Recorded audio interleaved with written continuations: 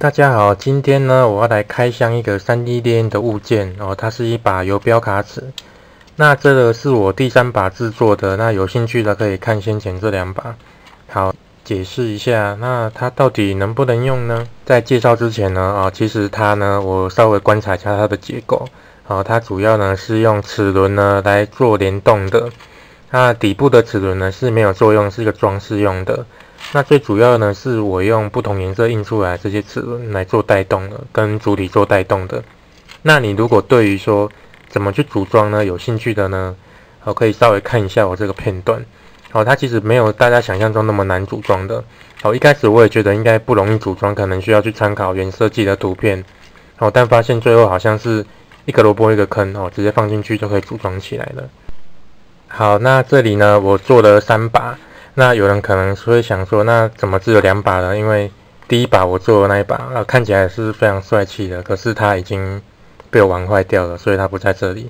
好，那那一把也是不好用的。那有兴趣的可以去看一下我介绍的。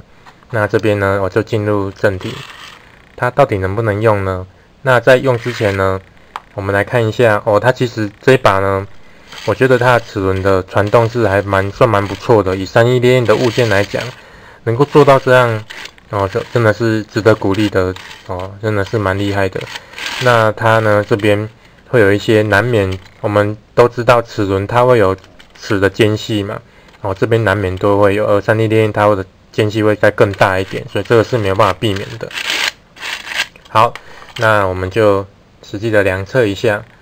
那目前呢，在这一把还没出来之前，我觉得我自己设计的这一把哦是非常好用的。所以我以它来做基准，我们来量一下它的宽度是多少。好的，量测起来是三十 mm，好，看起来是三十点点多啊，因为它的公差是零点五哦，那这边看起来是三十 mm 整。哦，那我们来看一下这一把量起来会是多少。好的，来量量看。好，看一下它这边哦，不知道有没有清楚。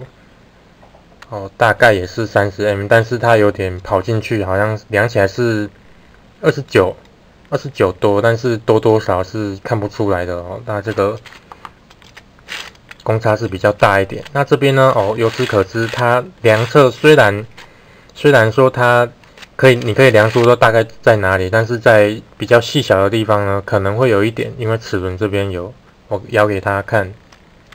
哦，齿轮这边会有点间隙，所以量测起来有可能会没有那么的精准。哦，以及它除了上下以外，左右也会有一点间隙，所以哦，难免印那个列印的东西难免是会这样子的。所以它如果要拿来真的做量测的话，我看起来也是没有那么适合的。但是我觉得这一把还是蛮不错的，是值得去制作的，因为它这一把真的是最。符合看起来像游标卡尺的那种状态，虽然它不太能够用的。好，那这边呢，啊，如果真的要比较精密一点的，我也蛮推荐我设计的这一把哦，因为我有考量到间隙的问题啊，这边螺丝都可以去做调整的。虽然看起来没有那么好看，但是它非常实用的。那这边呢，我来总结一下哦，那这个主体呢，它这边有一个齿条，那齿条呢是它主体上的不会。移动的那会移动的呢是上面的齿轮，那齿轮这里有几个搭配，哦看起来好像有指数比的关系，但是我研究起来发现它只是做传动的作用而已，好那并没有一些指数比的关系，因为这边没有附表，哦它不会有指针移动的一些数比关系。那后面这里呢会有一个旋钮，这个旋钮我看起来呢是方便去做微调的动作，哦看起来是。这设计还不错，因为有时候在拉的时候会有点卡住，拉不太动的时候，你可以靠这个旋钮来做移动。但是呢，你在以实际面来看，你真的在量测的时候，我们一般大拇指会比较在这里，所以有时候在做微调是好像没有那么便利啊。虽然你硬推还是可以的，那这边呢，哦，可能就没有那么的方便。那整体来讲，我还是蛮推荐去制作这一把的。虽然它没有办法说真的拿来当量测使用，但是它很适合。如果你非常喜欢工具的，哦，特别是像这种游标卡尺的，可以做一把来玩玩看，真的是还蛮不错。它是真的是可以去玩的。然后是，如果你要拿来做一个模型，呃，所以来展示的哦，并不一定是量测用，可能展示用的，我就觉得哦，三 D 电影它也能做出像这样子的工具的哦，那是蛮不错的。或是你对于齿轮的一些结构非常有兴趣的，也蛮适合来印这一个，因为它这个完全就是工业风的游标卡尺哦，齿轮外露啊，是看起来是蛮不错的。